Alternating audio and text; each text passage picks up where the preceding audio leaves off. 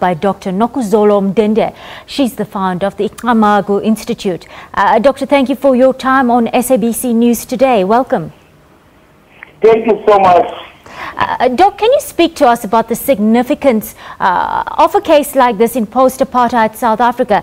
Uh, it does look like the king himself uh, is testing the degree of impunity uh, with which uh, traditional leaders can act.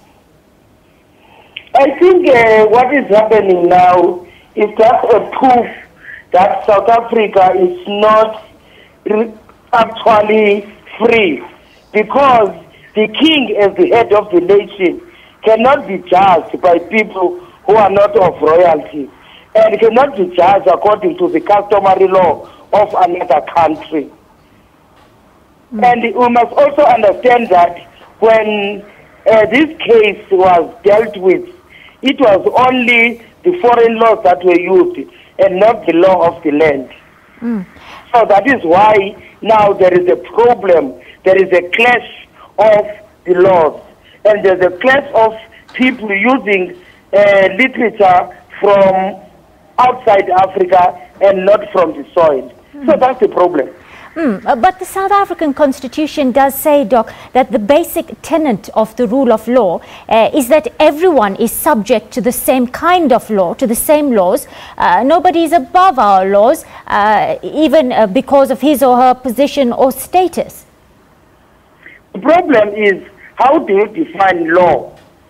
Because when they say everyone is the same in front of the law, that is not true. Even in South Africa, if you can look at all the kings of South Africa, the same law cannot apply. Mm, mm. So they are just applying to the king that they are undermining. Yes. They are applying this to the king who was using the customary law because it's people who came to the king's place mm. to, to complain mm. and people discussed everything yes. and now the uh, decision was taken and what is what, what is strange to me is that when an organization uh, let's say like in municipalities, they complain, they they they they they, they toy toy there, and people burn houses. It's not the leader of that uh, uh, organization who is arrested. It's people just condemn it. Mm. In this particular case, why is King Buyelekhaya Dalindyebo suffering for the things that he did not do using his hands, but it is people who did that. What is happening to those people who burned those houses? What is happening to those people who beat that guy? Nothing is happening. It's only targeting the king. Mm. Something that is abnormal. Something that cannot happen to other people. We've got proof of a right. king uh, saying right. something. Yes, mm -hmm. Doctor, uh, after the conviction uh, and the sentencing we had of the king, uh, Contralesa came out and said that a senior chief uh, could serve out the king's 12-year prison sentence uh, because of what they call an African context that allows it. Uh, but this would be in direct contravention of the South African uh, uh, constitution. Uh, is the king and his supporters here really misinterpreting customary law, perhaps, as traditional leaders we know cannot override the constitution and the basic principles of our democracy? Even we're talking of democracy, this is Western democracy we're talking about. We're talking now in this particular case about African democracy.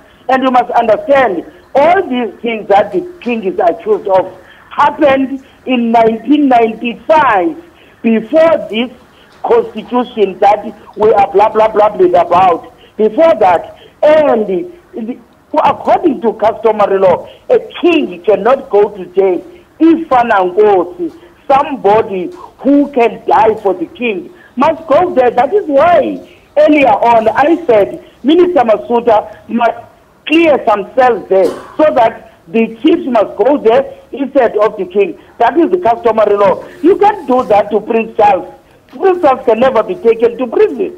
There will be some ways of reprimanding Prince Charles by the real community. But the problem, even within the, the, the, the, the Thembu uh, uh, people themselves. You'll find that they are those with their own agendas mm. because Buyelekhaya, by his birthright, he is from the great house of King Sabata Dalindyebo. And again, his son is his first flesh and blood.